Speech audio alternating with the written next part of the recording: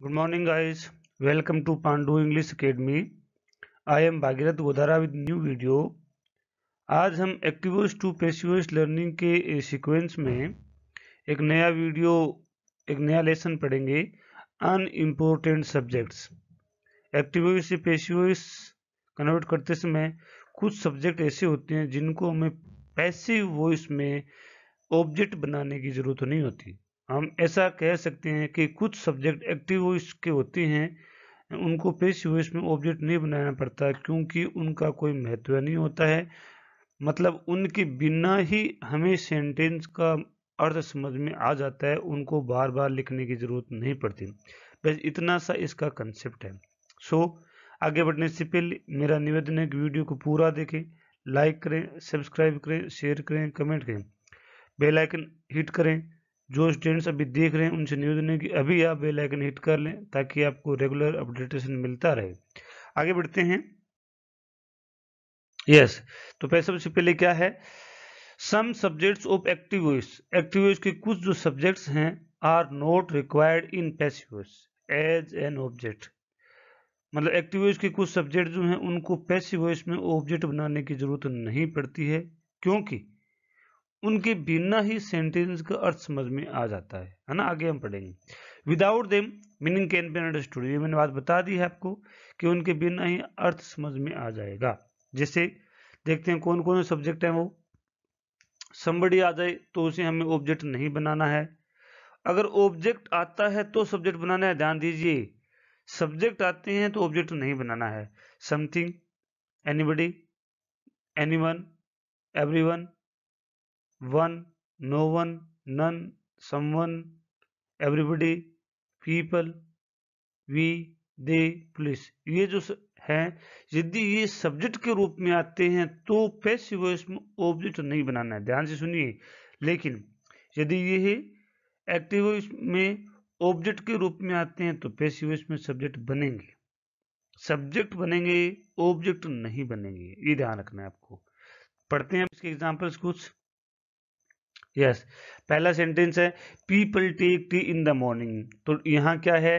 People subject ध्यान से पढ़िए। टेक क्या है? ऑब्जेक्ट ये मेन वर्ब है। टी यहाँ का ऑब्जेक्ट है। इन द मॉर्निंग ये टाइम वर्ड है, ठीक है?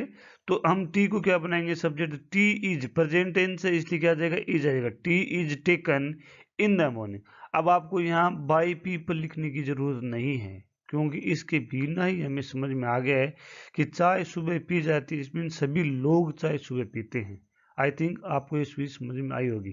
पीपल यदि कहीं पर भी एज ए सब्जेक्ट आए तो उसे ऑब्जेक्ट नहीं बनाया जाता। इस बात को समझें। आई थिंक समझ में आया होगा। आगे देखते हैं। सेकंड सेंटेंस है। थोड़ा मैं इसको इरेज करता हूँ पहले। सेंटेंस को पढ़ें। आप देखें इसका क्या ट्रांसलेशन होगा। Yes somebody is calling you तो यू क्या है? ऑब्जेक्ट है। ओके okay, तो हमने बना दिया subject you are being called you are being called अब आपको यहाँ बाई समबडी लिखने की ज़रूरत नहीं है। बाई समबडी लिखने की ज़रूरत नहीं है। यू आर बीइंग कोड मतलब कोई एक अज्ञात आदमी जिसका नाम मुझे भी पता नहीं है वो आपको बुला रहा है। तो मुझे कहने की ज़रूरत नहीं है कि समबडी आपको कॉलिंग कर रहा है है ना? तो यू आर बीइंग कोड इतने से इस सेंटेंस का अर्थ समझ में आता है। आई थिंक ये भी आपको समझ में आया होगा। आगे बढ़ते हैं। No one can speak English ये मैंने आपको पहले करवाया है। नो वन एक अलग तरह का रूल होता है। पढ़ते हैं। तो इंग्लिश ऑब्जेक्ट है। English can be can't be can't be spoken ध्यान से पढ़िए। यहाँ नोट आएगा। क्योंकि ऊपर वाले सेंटेंस का मीनिंग नेगेटिव है कि कोई भी इंग्लिश नहीं बोल सकता। यदि आप यहाँ नोट नहीं लिखोगे तो इसका मतलब इंग्लिश बोली जा सकती है। है ना? तो नो वन और नन का एक मैंने अलग से फोल्डर बनाया हुआ है, एक अलग से मेरा वीडियो बनाया हुआ है मेरे इस यूट्यूब चैनल पर। आप को समझ में नहीं आता तो देख लें, पहले उसको देखें।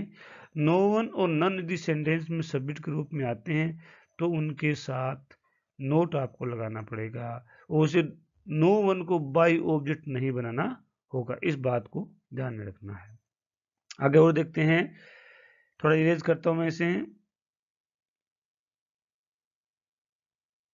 यस सेंटेंस को पढ़ ले यहाँ पहले। Yes police will arrest the thief है ना? तो द थीफ ऑब्जेक्ट है the thief will be arrested अब यहाँ बाई पुलिस लिखने की ज़रूरत नहीं है, क्योंकि अरेस्ट का काम पुलिस का ही होता है। इसको हम बाई मीनिंग या इसकी जनरल अंडरस्टैंडिंग से समझ जाते हैं कि thief will be arrested means police thief को अरेस्ट कर लेगी। आई थिंक ये भी समझ में आया होगा। आगे सेंटेंस है we should help the poor तो poor should be helped by we लिखने की ज़रूरत नहीं है कि पुअर की हेल्प होनी चाहिए। हम सभी को करनी चाहिए, है ना? तो बाई अस लिखने की ज़रूरत नहीं पड़ती है। ये भी ध्यान रखें। आगे और देखते हैं एवरीबडी कैन कॉल मी तो आई कैन बी कॉल्ड कोई भी आदमी मुझे कॉल कर सकता है तो हाँ मुझे बुलाया जा सकता है है ना? कोई किसी के द्वारा भी मुझे बुलाया जा सकता है। They play football in the ground तो football is played in the ground football is played in the ground इस तरह से मुझे समझ में आ जाता है। हालाँकि दे जो है, हर जगह ओमिट नहीं किया जाता है। सब जगह देव को हम छोड़ नहीं सकते हैं। कुछ कुछ जगह जो होती हैं देव को हम छोड़ सकते हैं, जो जनरल अंडरस्टैंडिंग होती है। आगे देखते हैं। पहले इसको यूज़ करता हूँ।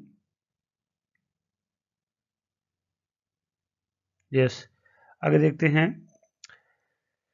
Police arrested a criminal presented a criminal in the court police presented a criminal in in the court तो criminal was presented in the court by police लिखने की ज़रूरत नहीं है, क्योंकि पुलिस क्रिमिनल को कोर्ट में प्रेजेंट करने का जो कार्य है, वो पुलिस का ही है। आई थिंक ये भी आपको समझ में आया होगा।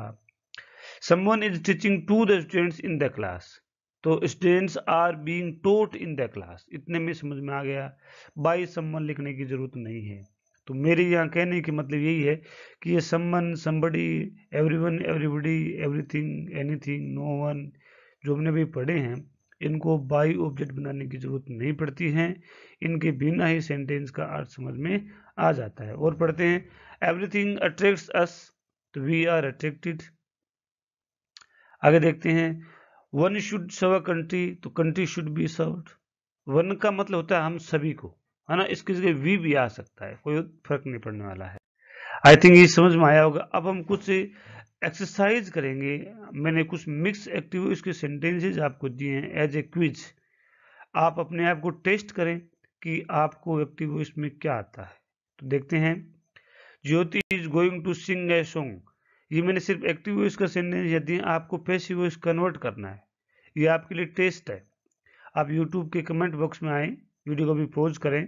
और कमेंट बॉक्स में इसका पैसिव वॉइस ट्रांसलेट करके लिखें, ताकि समझ में आए। आगे देखते हैं। Radha has to prepare lunch for us. इसको भी देखें।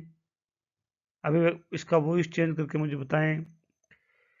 Rakesh will buy new car next year active का सेंटेंस मैंने आपको दिए हैं। आप उसे पैसिव वॉइस में कन्वर्ट करें। Aman will have will have to help me तो इसको भी आप वॉइस में कन्वर्ट करें।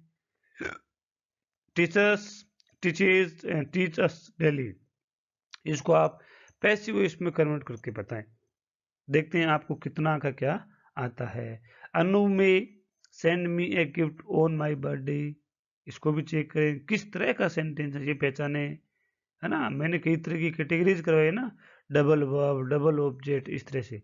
उसमें ये क्या है? डबल वर्ब है डबल ऑब्जेक्ट है क्या है? Principal will check my notebook today इसको भी आप कन्वर्ट करके बताएँ, ताकि पता आपको कितना गाता है। आई थिंक ये सब चीज़ें आपको समझ में आई होगी। यदि वीडियो अच्छा लगा हो तो लाइक करें, सब्सक्राइब करें, शेयर करें, कमेंट करें। मेरे इस चैनल पर क्लास सिक्स से ट्वेल्थ तक एस एस टी और इंग्लिश के सभी लेसन के video with question answer proper manner में आपको मिलेंगे। इसके अलावा English composition, English grammar, application writing, story writing, letter writing, ऐसे राइटिंग, ये सब चीज़ें आपको वेल डिफाइंड मैनर में मेरे इस चैनल पर मिलेगी। यदि वीडियो अच्छा लगा हो तो लाइक करें, सब्सक्राइब करें शेयर करें कमेंट करें। Thanks for watching have a nice day